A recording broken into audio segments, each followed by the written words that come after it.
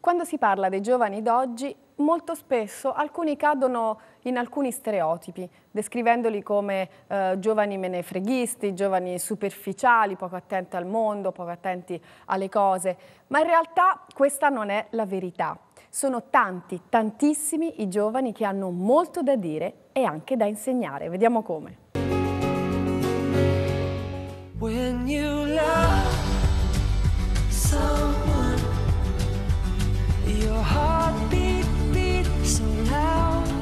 L'idea di questo progetto è nata con la volontà di rispondere ai tanti reality che imperversano in televisione, con la differenza che mentre in questi reality è la persona che vuole dar mostra di sé, noi vogliamo dare la possibilità a un ragazzo invece di aiutare gli altri e di tornare con un arricchimento interiore che secondo noi è molto importante per la, la vita del ragazzo stesso, della persona stessa.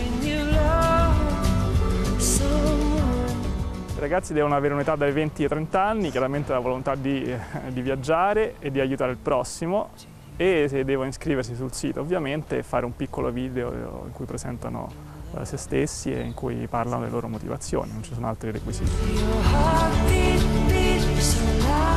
Quest'anno abbiamo ricevuto oltre 3.000 eh, iscrizioni eh, per arrivare ai 20 precandidati che faranno il campus di formazione qui da noi alla Caritas stata una risposta incredibile, non ci aspettavamo, anche che abbiamo fatto una minima promozione solo sui su social network ed è arrivata veramente una risposta molto, molto importante che ci dà anche speranza perché quei ragazzi che, noi, che la gente dice essere dei bamboccioni che non si vogliono impegnare in realtà hanno dato una risposta incredibile vogliono mettersi eh, diciamo, in gioco e aiutare gli altri con, con tutto il cuore.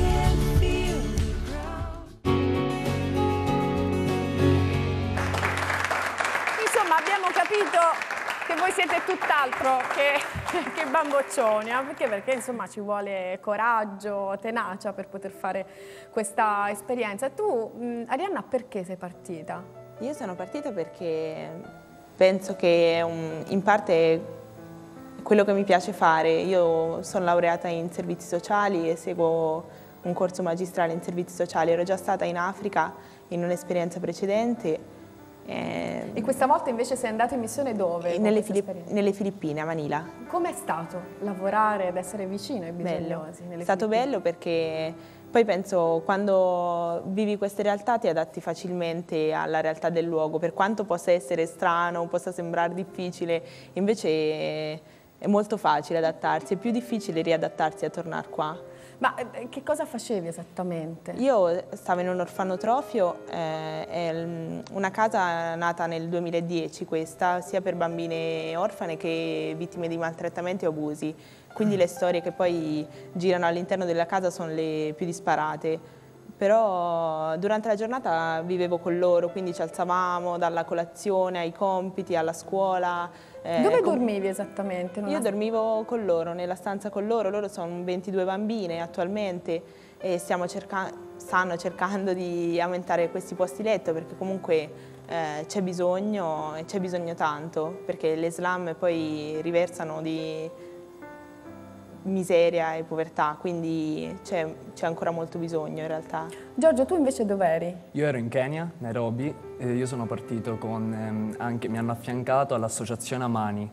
L'associazione Amani è un'associazione no profit che ha sede legale a Milano e si occupa di affermare per l'appunto i diritti dei bambini di strada, anche sostenere delle case di accoglienza a Nairobi, in Kenya, in Zambia e in eh, Sudan.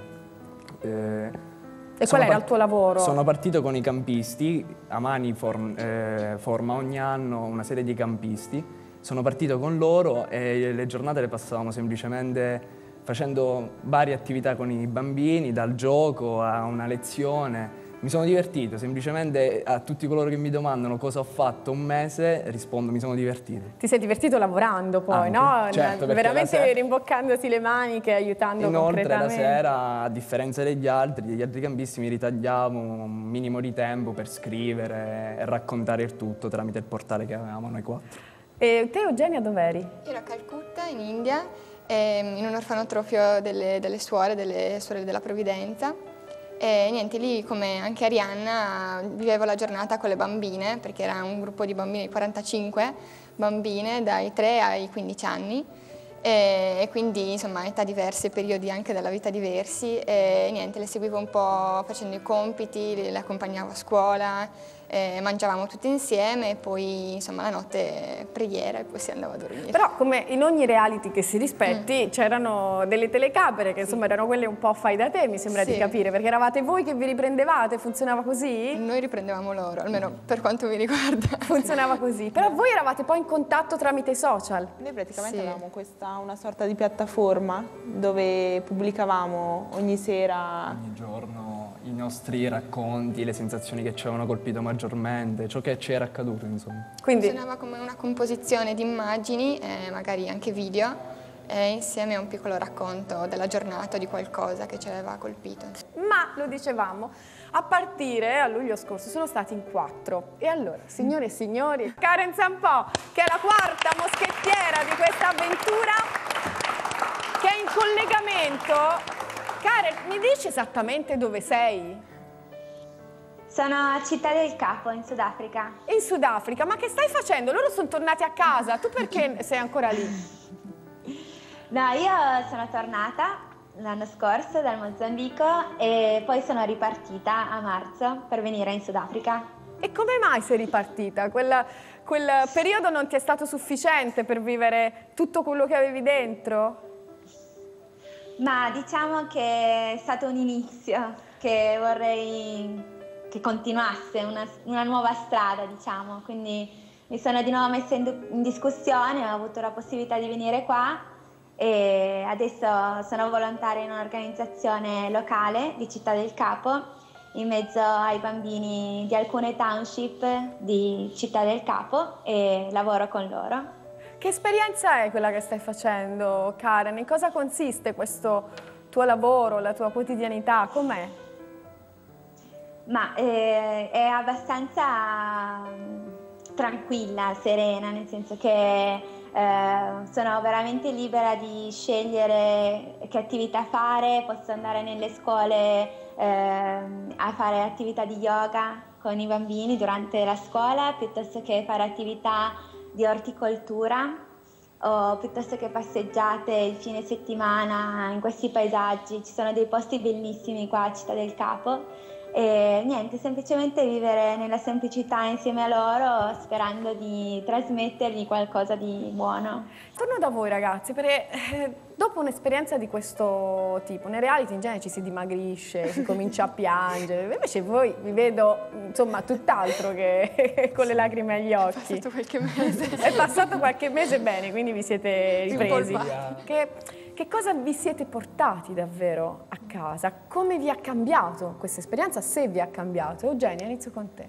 Mm, a me una cosa che è rimasta impressa e che mi hanno insegnato un po' mm, le ragazze, soprattutto le più grandi, è stata mm, diciamo, la forza che hanno incredibile di riuscire a trasformare no, questa rabbia, questa ansia che hanno, perché vengono tutte da situazioni molto difficili. Mm chi è stata trovata in, insomma, in stazione a mendicare, chi viene da villaggi lontani per cui parla anche un'altra lingua. E, ehm, insomma, eh, mi hanno insegnato il fatto di riuscire a trasformare questa energia, questa, questa rabbia in qualcosa di, di, positivo, quindi in una grinta, mettersi a studiare, cercare di trovare una via d'uscita quindi questo è molto... Questo, te Giorgio? Come ha detto Eugenia, cioè, sono i ragazzi dell'Africa che hanno insegnato a me particolarmente un, una spiritualità che noi qui non abbiamo e soprattutto appunto tramite questo viaggio ho avuto una maggiore coscienza interiore di me stesso e quindi eh, diventa più facile il rapporto con l'altro, l'incontro, una volontà di incontro che prima non, non avevo. E oltre a questo una serie interminabile di ricordi il cui solo pensarci ovviamente mi emoziona. Arianna, per te cosa è cambiato dopo tutto questo? Ah, eh, sembra banale, però a me veramente mi hanno insegnato a ridere, cioè ma ridere di cuore, hanno una leggerezza, una voglia di fare che è disarmante per, perché pensi, ecco come diceva Eugenia, tutte le storie che hanno vissuto sono per noi incredibili, invece loro la vivono con leggerezza, la vivono, vivono la giornata con eh, la forza e l'allegria allo stesso tempo che ti riempiono, ti riempiono la vita.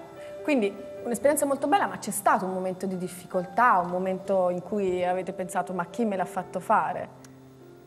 No, magari ecco, ti rendi conto che hai più resistenza di quanto pensavi, nel senso, ma parte il caldo terribile, però magari anche la doccia col secchio dici no, non ce la farò mai, o dormire in una stanza con insetti non esiste. Poi alla fine però sei tanto stanca sei sì. tanto anche sì, felice no, di quello che, tutto quello che hai fatto durante la giornata che non te ne frega niente. Questo passa, sì. no? Secondo, vedo che Giorgio ride, quindi sì, immagino in che condizione eri esatto. anche tu. No, sei... no, ma alla fine c'era tutto, però eh, come ha detto Eugenia, alla fine della giornata non ti importa di nulla se non le emozioni che hai provato. Ma eh, come vogliamo concludere? Che cosa vi sentite di consigliare a chi appunto vuole intraprendere questa avventura così speciale? Qual è il tuo gioco? Il mio consiglio è proprio godersela fino all'ultimo, ogni minimo giorno, perché non ricapita più. È, è stata una delle mie esperienze più belle della mia vita. E affidatevi, buttatevi, cioè proprio divertitevi. Oh, ma deve essere proprio bello, cioè le stelline negli occhi per come lo racconti.